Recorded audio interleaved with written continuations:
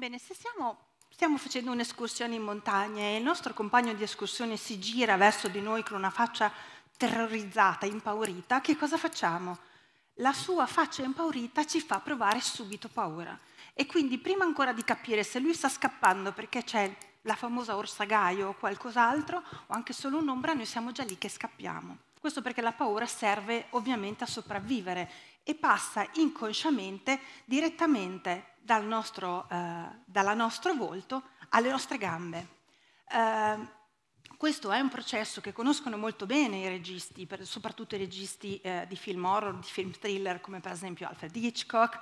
Se ricordate infatti nella famosa scena della doccia, la eh, protagonista, che è Marion Craig, ha questo volto terrorizzato. Ecco cosa succede? Che noi guardiamo la protagonista e proviamo istantaneamente lo stesso terrore. Questo perché le emozioni si trasmettono, si contagiano soprattutto tramite il volto, ma non solo tramite il volto, e servono a che cosa servono? Cos- cosa sappiamo davvero delle nostre emozioni? Come facciamo noi a conoscerle? Eh, quello che studiamo noi nel nostro laboratorio è come, eh, come, avvengono, come si riconoscono le emozioni.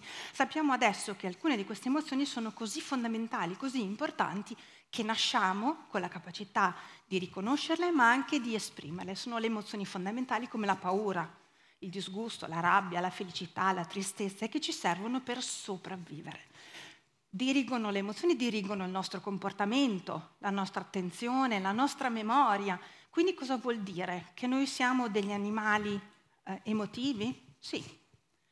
Non ci piace dirlo perché abbiamo sempre ritenuto che le emozioni fossero qualcosa di razionale, di animale, la parte più brutta dell'uomo che non riusciamo a controllare, ma è proprio così.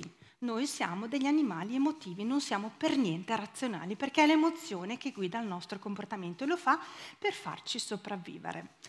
Ma questo comporta anche che qualcuno, visto che le emozioni governano il nostro comportamento, possano in qualche modo provare a rubarcele. Perché? Per trarne vantaggio. Infatti, fin dal secolo scorso, quelli che sono stati definiti persuasori occulti hanno utilizzato questo nostro mondo evotivo per capire come venderci maggiormente tutti i prodotti, vari tipi di prodotti. Questo perché quando noi acquistiamo, non acquistiamo un prodotto, acquistiamo un'esperienza emotiva. Ecco allora che tutte le emozioni, se conosciamo le emozioni dei consumatori, possiamo vendere meglio, possiamo vendere di più. Eh, tutti i segnali soprattutto dai motivi, sono di tipo inconscio. E mh, questi mh, i personaggi diciamo, che lavorano all'interno del marketing ultimamente hanno cominciato a fare uso di tutte le nuove metodiche delle neuroscienze. Le neuroscienze sono appunto le scienze che studiano in toto il cervello e che studiano in particolare anche tutte eh, le caratteristiche emotive di quello che succede quando noi ci emozioniamo e come l'emozione definisca poi la nostra azione. Quindi eh, il neuromarketing è stato coniato questo nuovo termine che cosa fa? Non fa altro che andare a valutare, a controllare, a misurare tutti quegli indici inconsci che definiscono il nostro mondo emotivo. Quali sono? Uh, i segnali vitali, il battito cardiaco, la direzione dello sguardo. Quando guardiamo verso qualche cosa, quindi io guardo verso qualcuno di voi, sto mostrando interesse verso qualcuno di voi, e qui c'è qualcuno che lo sa, che ho molto interesse verso di lui, e sposto la mia emozione verso quell'oggetto. Ebbene, se ci sono altre persone di fianco a me, tante persone, saranno tutte portate a guardare verso lo stesso punto. Perché? Perché l'emozione, perché lo sguardo dirige l'attenzione e dirige l'emozione.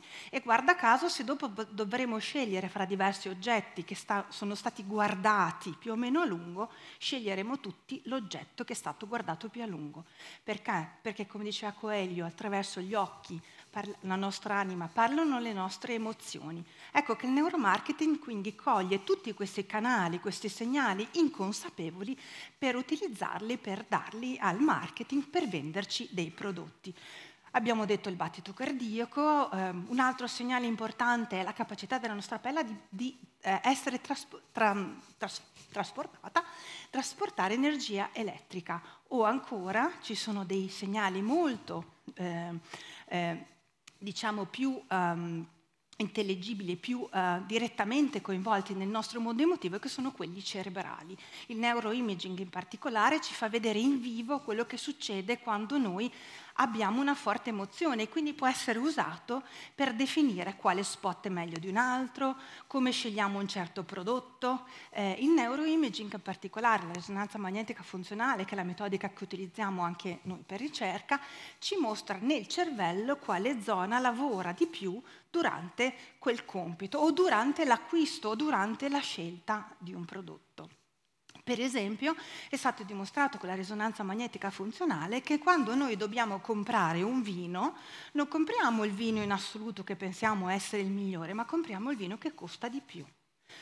Persone messe dentro la risonanza magnetica gli hanno fatto vedere tante immagini di uh, vini con il prezzo sotto, quale vino hanno uh, scelto alla fine? Quello che costava di più. Sapete perché? Perché c'è una porzione della nostra corteccia cerebrale si chiama corteccia orbito frontale perché sta sopra le nostre orbite, che definisce come noi facciamo le scelte, anche quelle economiche. Quindi sulla base delle nostre esperienze passate ci dice, oh guarda che quell'oggetto lì costa di più perché vale di più, compra quello. Ecco, questo è vero nella maggior parte dei volte, ma a volte non è vero. Sicuramente però il prezzo, più un oggetto è a più alto prezzo, più noi lo sceglieremo.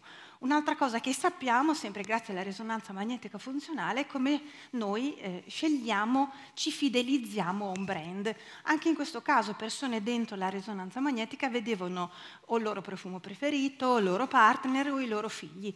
E la cosa incredibile che hanno scoperto è che l'amore per il brand preferito è simile all'amore coniugale. Quindi, è vero. Quindi cosa vuol dire? Che io scelgo il mio profumo un po' come scelgo mio marito, un po' come lo amo mio marito, ma non come amo mia figlia, mai sicuramente come amo mia figlia.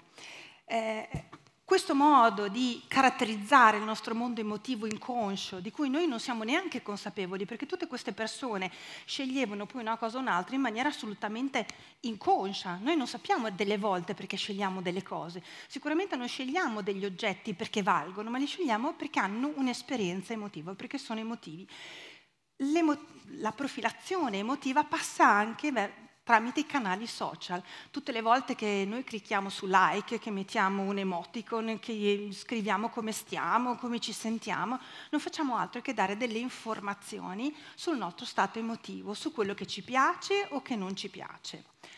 Eh, qualche tempo fa un famoso social network è stato in grado di indurre una pandemia emotiva tramite i social. Che cosa vuol dire? La pandemia ormai sappiamo tutti che cos'è purtroppo, la pandemia da virus. Esiste una pandemia emotiva. Quando io sono davanti a, una persona che prova una certa emozione sono contagiato, lo dicevamo prima, no? Il bambino neonato che piange quando gli altri neonati piangono, io che provo paura quando vedo un altro che prova paura. Questo però di solito succedeva, fino a un po' di tempo fa, nelle interazioni personali. Mm? Ebbene, i social network hanno dimostrato che è possibile farlo anche tramite appunto i social, i canali sociali, tramite quello che io scrivo in bacheca, il mood che trasmetto, posso contagiare emotivamente tutti i miei contatti. Quindi vuol dire che i canali social sono molto potenti. In alcuni casi, in alcune persone molto fragili che hanno già dei problemi con le emozioni, l'utilizzo eccessivo di questi social può portare un ulteriore impoverimento della loro vita affettiva. Queste persone che si chiamano LST quindi fanno ancora più fatica di prima a riconoscere i propri stati emotivi, soprattutto a differenziarli da quelli che sono i propri stati fisici, quindi non sanno più cosa provano e quindi non riescono ovviamente a comportarsi adeguatamente. Però cosa è successo? Che proprio per queste persone in cui il mondo emotivo è stato depauperato, soprattutto a causa appunto delle nuove tecnologie, le nuove tecnologie stesse si sono dimostrate uno strumento utilissimo di psicoterapia. Chi fa fatica col mondo emotivo fa fatica nell'interazione psicoterapica uno a uno, perché è proprio quello è il suo problema. E quindi ecco allora che tutte le app, tutte le cose, le psicoterapie a distanza vengono loro in aiuto per riprendersi il loro mondo emotivo. E funziona, funziona molto bene, queste persone stanno meglio. Quindi qual è il messaggio, quello che chiamano tutti il take home message? Uh, le nuove tecnologie, i social sono potentissimi, profilano le vostre emozioni, il vostro mondo emotivo, state attenti a quello che gli raccontate, a quello che gli dite. Ma se da una parte tutte queste nuove tecnologie possono depauperare il nostro mondo emotivo, possono invece, soprattutto in alcuni casi, aiutarci a prenderci cura delle nostre emozioni.